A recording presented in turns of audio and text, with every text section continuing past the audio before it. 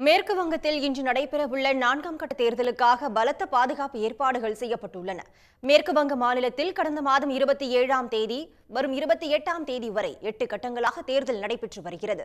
ஏற்கனவே மூன்று கட்ட வாக்குப்பதிவு நடந்து முடிந்துள்ள நிலையில் நான்காம் கட்ட தேர்தல் இன்று நடைபெறவுள்ளது. ஹவுரா ஹூக்ளி கூச்பெஹார் உள்ளிட்ட ஐந்து மாவட்டங்களில் உள்ள நாற்பத்தி நான்கு தொகுதிகளுக்கு இன்று தேர்தல் நடைபெறவுள்ளது. மத்திய அமைச்சர் பபுல் சுப்ரியோ திரிணாமுல் காங்கிரஸ் கட்சியின் பொதுச் செயலாளர் பார்த்தா சட்டர்ஜி பாஜகவை சேர்ந்த நடிகை ஸ்ரவந்தி சட்டர்ஜி உள்ளிட்ட முன்னூற்று எழுபத்து மூன்று வேட்பாளர்கள் களத்தில் உள்ளனர்.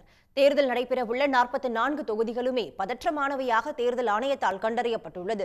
எழுநூற்று எண்பத்து ஒன்பது கம்பெனி மத்திய ஆயுத படையினர் பாதுகாப்பு பணியில் ஈடுபட உள்ளனர் இதில் ஒன்பது தொகுதிகளில் தேர்தல் நடைபெறவுள்ள கூச்பெகார் மாவட்டத்தில் மட்டும் நூற்று எண்பத்தி ஏழு கம்பெனி ஆயுத படையினர் பாதுகாப்பு பணியில் ஈடுபடுகின்றனர். உடனுக்குடன் செய்திகளை தெரிந்து கொள்ள சன் நியூஸ் பெல் கிளிக் பண்ணுங்க.